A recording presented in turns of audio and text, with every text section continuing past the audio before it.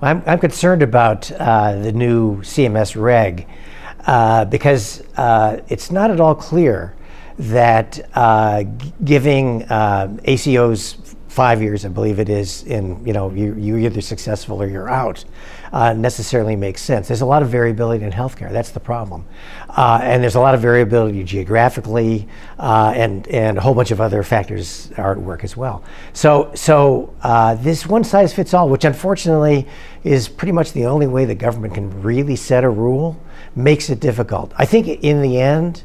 Uh, what people have predicted will probably become true, but it may be transitory. Uh, I think there will be ACOs who are now in the program who will drop out. There will be some discouragement factor there. Not as many organizations will try to become an ACO until the kinks are worked out. I think that's the issue because it's not just there's a rule, it's, well, how does CMS actually implement it? And uh, are there ways to deal with whatever the hard barriers are? Uh, th- these are businesses, they'll find ways.